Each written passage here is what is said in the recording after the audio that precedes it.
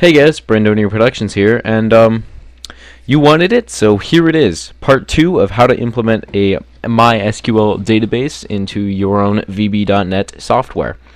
Now, um, I forgot a very important step in part 1, and that was to actually download the framework that allows you to use a MySQL server in a in the uh, in your VB.NET project. So um, I'm at the official My MySQL um, website right here, and uh, here's all the components that you can have. Uh, now these components are actually version 6.3.6, and I don't know what has changed, but I'm using the version 6.2.4. So there will be two links in the description, one to link 6.3.6 and one that links version 6.2.4. Um, I'm going to be using version 6.2.4 throughout this series of tutorials, so and 6.2.4 works out perfectly. So if you really want to um, follow along, then go ahead and do that. So once you download your package, it should come with an installer, a .msi installer. Go ahead and just run that and install it. I'm going to go ahead and do that right now for you guys. It's very easy. You're just going to want to, um, oh, okay. Uh, and then it'll go pretty fast. And then once you're done, you are done. And you shouldn't notice anything different on your desktop or anything like that because it's not an actual application. It's simply a component for VB.NET.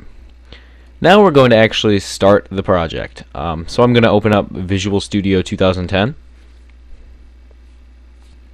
And then I'm going to start a new project. And I'm just go going to go ahead and call this one uh, let's say MySQL tutorial. And then uh, that should load. Okay, so now the first thing you want to do when you start this project is actually add a reference. And this reference is going to be toward the uh, the thing you just installed, the MySQL. So we're going to go to the, I think it's the Yes, the .NET category of add reference, and then just choose mysql.data. And then the library will be successfully imported into your project, and you could start right away uh, using your database in your project. So first thing we want to do before we actually make it so users can register or uh, log in, we're going to want to import the library. You could do this by going above your public class form 1 and simply typing imports mysql.data data. And then once that's done, you are ready to go. Now, um, there, there's a couple steps you need to take to further set up your MySQL uh, client to communicate with the server that you set up in part 1. So what we're going to actually do is log into that server and get some information that we need.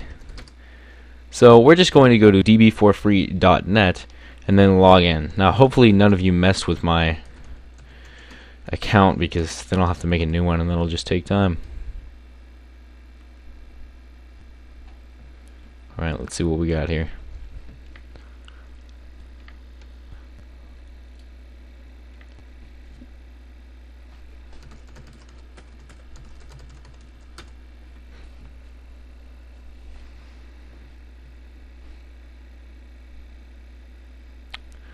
Well, it looks good so far.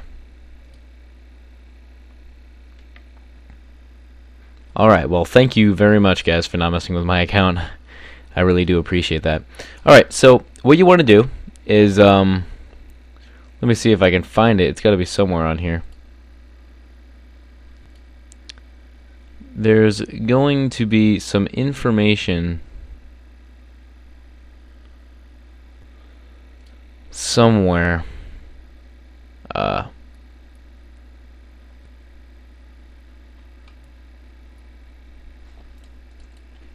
Give me two seconds.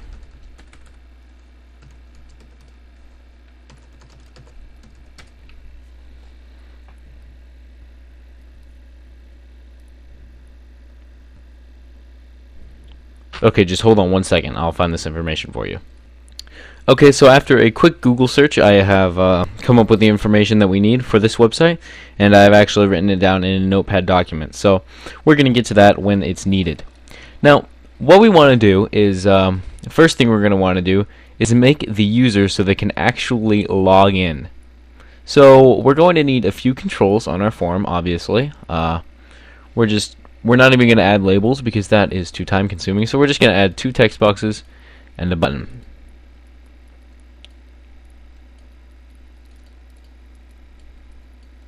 Very nice, very nice. Now we're going to name the text of text box 1 to be username and the text of text box 2 to be password. Okay, so now when we double click the button, we actually want to see um, if the username and password that are entered exist. So the first thing we're going to need to do is set up a connection to the MySQL server. So right under public class form 1, you're going to want to type public con as new MySQL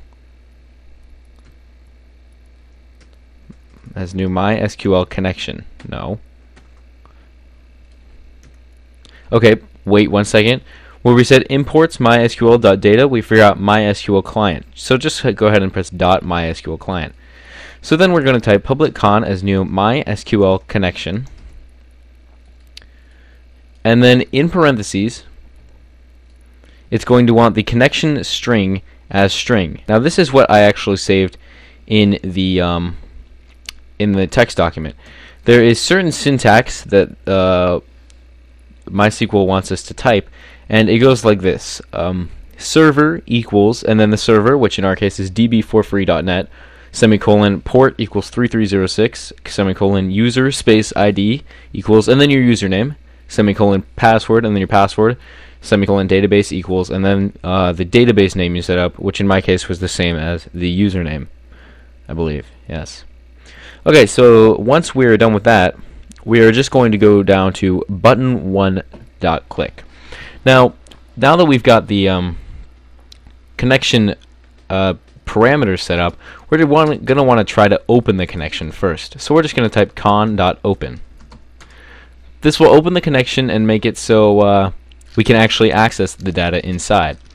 Now what we want to do is actually check to see if the username we typed is inside the um, is inside the server. So the first thing we're going to want to do is dim a couple variables. We're going to dim SQL query as string equal to and then we're just going to leave that blank for now. We're also going to need a MySQL um, data reader and a MySQL data adapter.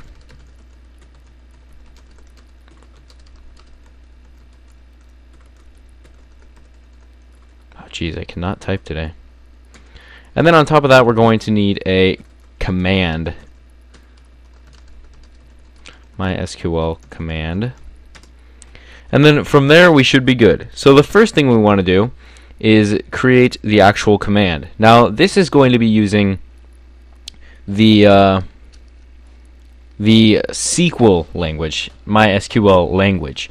So I'm just going to go ahead and give it to you. In order to look for something inside MySQL, you're going to need to type select everything from and then the table that you're actually looking for. And in our case, the table is called new table.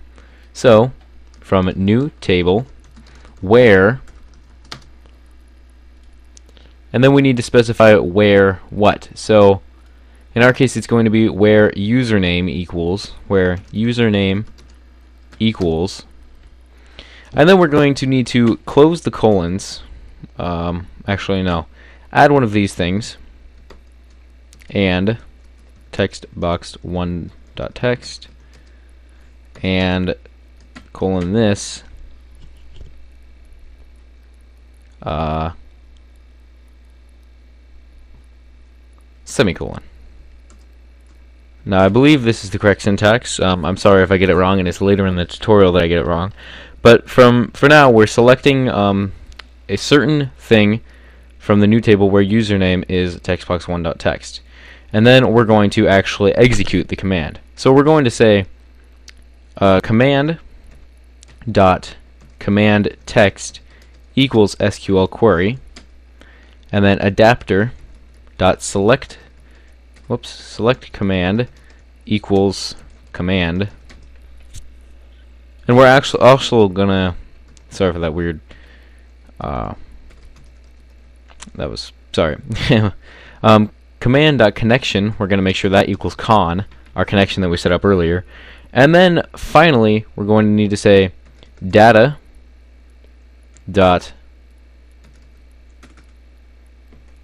no, we're just going to say data equals adapter dot de Okay, now this is the one part I forget.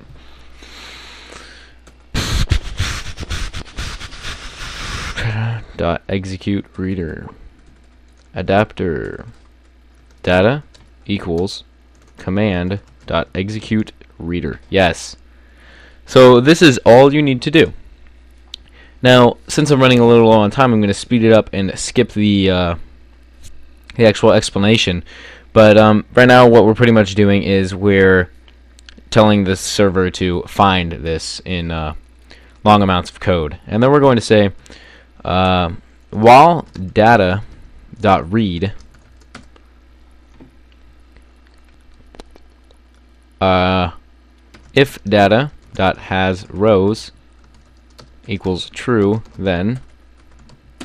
So if data dot has rows that means that we have in fact selected where the username is textbox1.text and then we're going to say if data 2 dot toString equals textbox2 dot text then message box whoops login.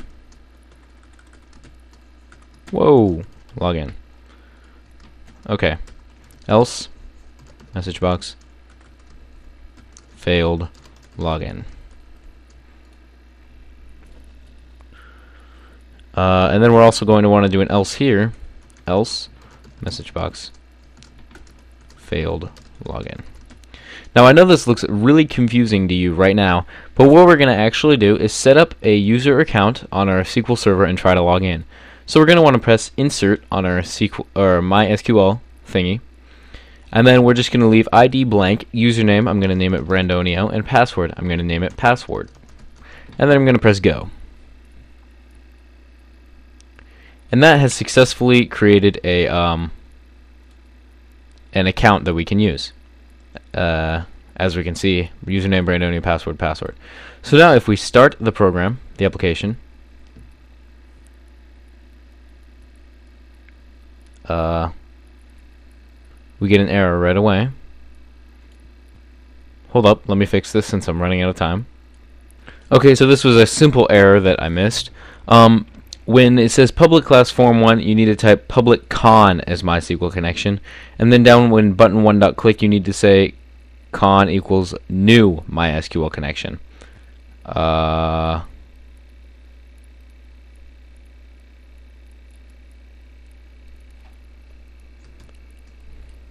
yeah, that should be right. Alright, so now we're going to run the project. And uh, username, I'm going to type in Brandonio. Password, I'm going to type in password and then press button 1. And then it will take a little while to um, load because it's connecting to servers. But uh, other than that, we have logged in successfully.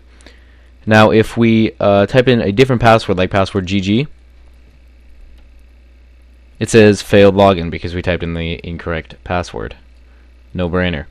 But, um, yeah, so I'm sorry if I was going a little fast. I was pressed for time, and this is a kind of a long tutorial to make for a login. But hey, if you keep subscribing, uh, I will get that partnership and I can make long tutorials. So um, thanks for watching this tutorial. Please stay tuned in for part three, where uh, we will talk how to make like register an account through an application. And uh, remember to rate, comment, subscribe. All right, see you guys. Bye.